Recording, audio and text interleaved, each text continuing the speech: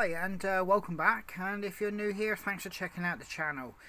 I did actually make it into the garden today with the steamer. I've got it uh, rolling and I'm already producing nice straight pieces of wood. I've got about four pieces done. I've got about another three or four in the steamer and I'm basically cutting and getting ready to keep the things supplied and keep it going. I'm going to do pretty much the whole of the day just to get my stock of blanks up and um, I'll let you have a quick little look. Well there you go, you can see the steam in here at gurgling and you can see the rag uh, drumming away there.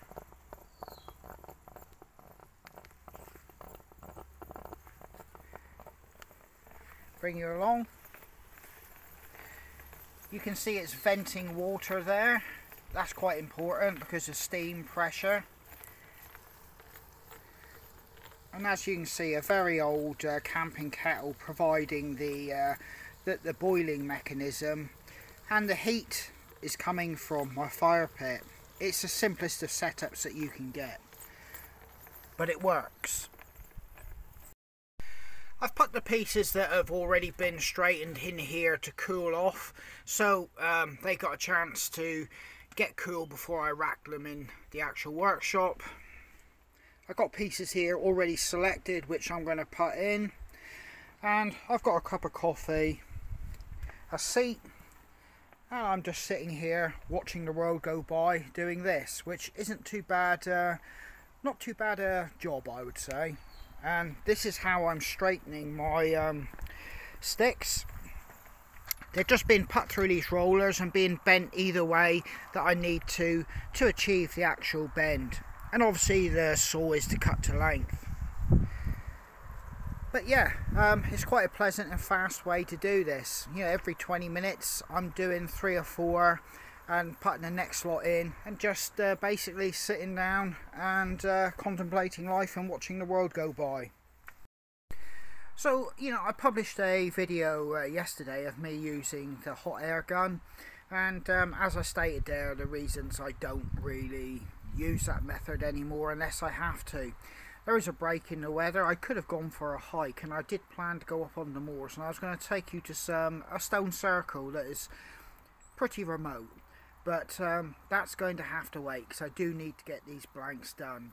It, you know, after today, um, you know, I'll be able to get out on the trail in between making the sticks.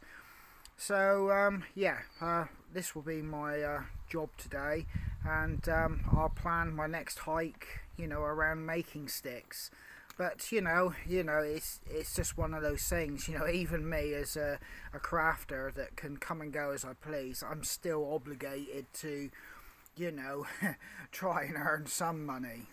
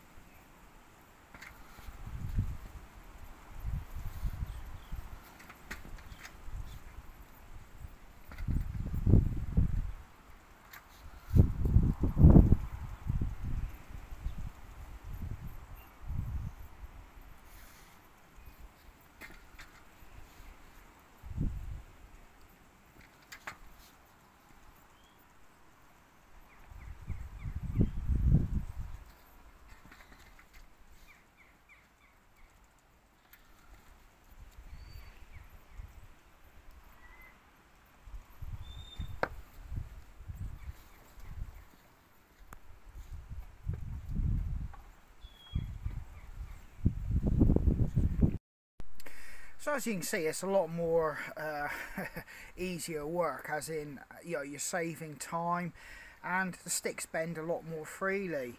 And um, like I keep saying, the speed, I've got another three or four pieces in. I've just completed another three.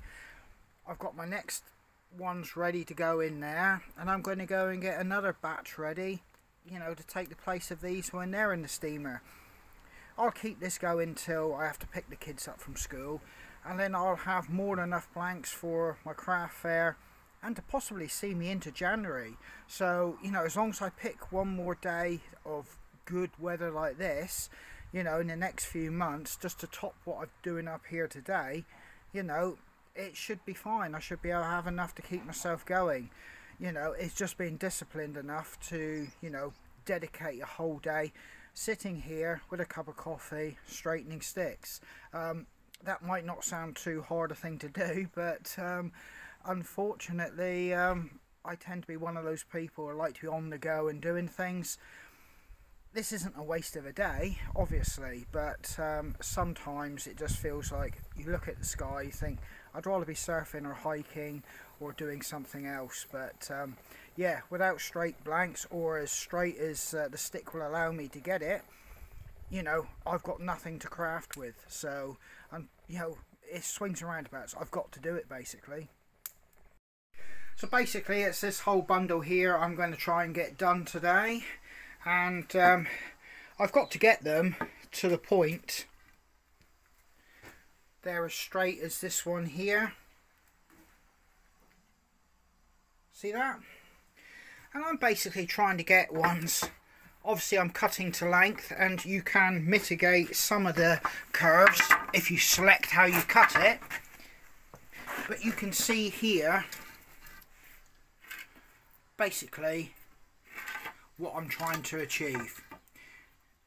And this is more than what I'm happy with. There's a few small little kinks but nothing too much. Um, and basically I've got to try and get this one here. Like this one here. And the majority of those there will need a lot of straightening. So yeah, I just have to clear it up. Like in my other video I dedicated solely to the actual process, what was involved in this uh, straightening setup.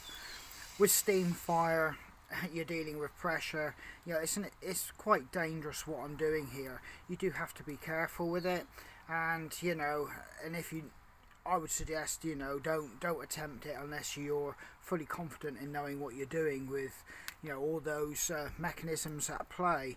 Um, but uh, I'm not slating people that use hot air guns because I've used it for many many years successfully myself. But like I say, I'm just able to whiz through so many in one go. You know, dedicate a day, and I can have a couple months worth of sticks there ready to go. Um, you know and it's not too too unenjoyable. You pick a nice day like this sitting near a coffee it's not too you know unpleasant. But uh, yeah I'm not slating stick makers that use hot air um, guns. I, like I said I've used them for years myself it's just that this is a far superior method using steam so yeah this is Andy from you know uh, you know from my little uh, setup here and where I produce my folklore hiking sticks. Um, you know, I will get out on the trail, I keep saying it. I've just done one down in a, a nature reserve that's been published, but um, I aim to get out on the moors and show you these uh, stones, stone circles. So yeah, um, all the best and uh, I hope to catch you out on the trail. Now that's a uh, office with a view, isn't it?